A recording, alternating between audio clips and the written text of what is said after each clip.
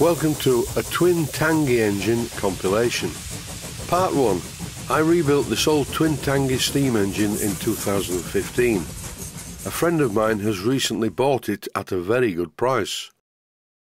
I thought I would revisit the rebuild showing some details from the original series and the inevitable transformation. My friend who recently bought this engine is called James Evans and even though the engine still seems to run okay, I have a feeling that the timing has slipped. All of the clips in this compilation are taken from my series Renovating a Vintage Twin Tangye type model steam engine.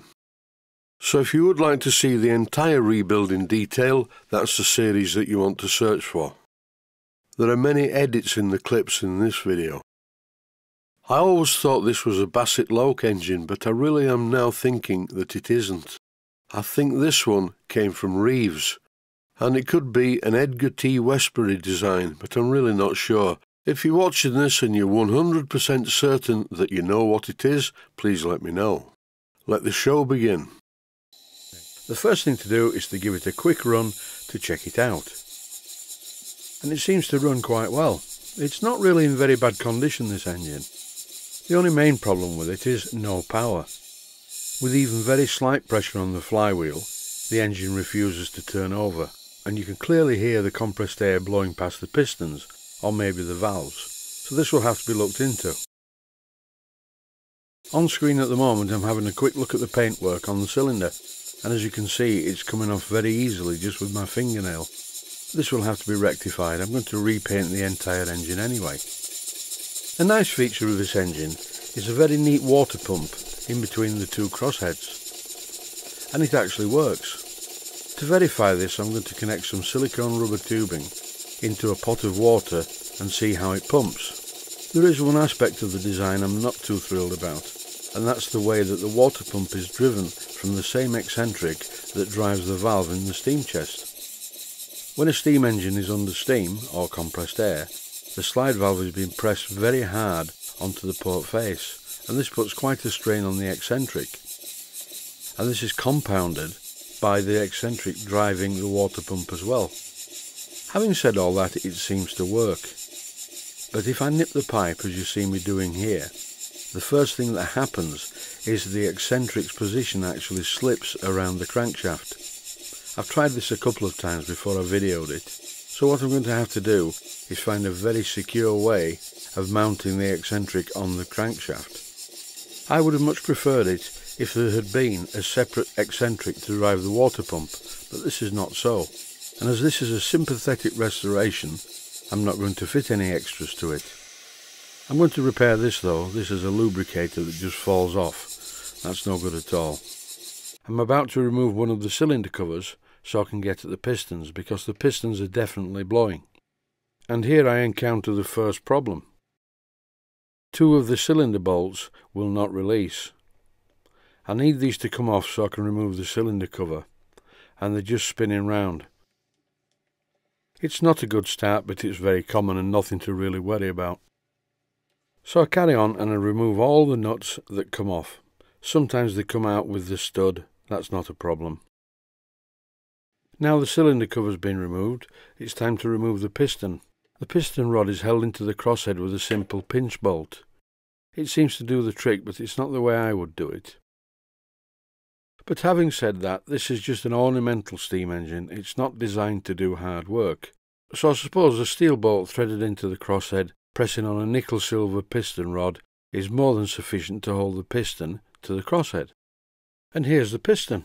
It's quite usual on engines of this type and this age to have cotton in the grooves, and this is no good really, it wears far too quickly. I've always used graphited yarn and in more recent years silicone rubber, so I'll take out the cotton and the grooves are very very shallow anyway. I'm going to machine the piston to take a standard O-ring.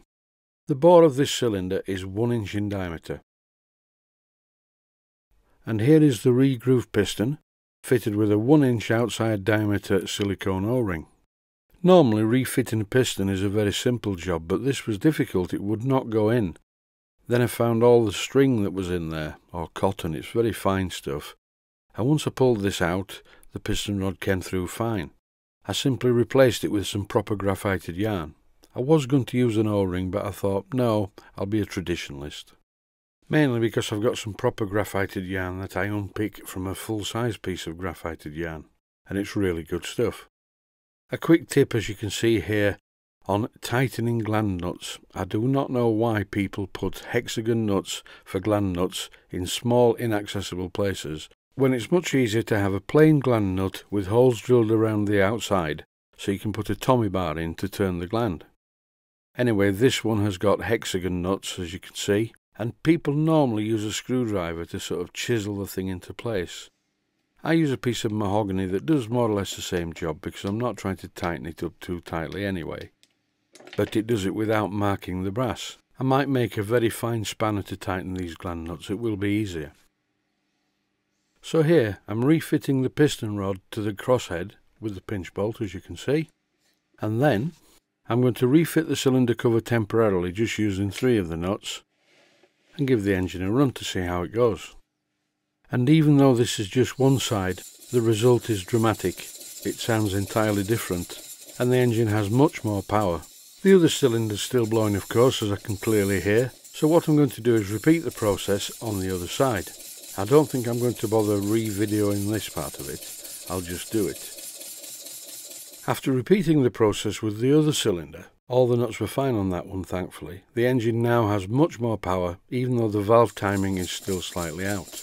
I'll put that right later. But it's running quite well. It's a much harder sound and it really has a lot of power now. I would not like to get my fingers in the flywheel or in any of the moving parts. Whereas before it had about as much power as a small Mamod. I'm not saying there's anything wrong with small Mamod steam engines except they are small and they're not very powerful. And that is it for the first episode. Stay safe, stay healthy. Thanks for watching, and I hope you found it useful.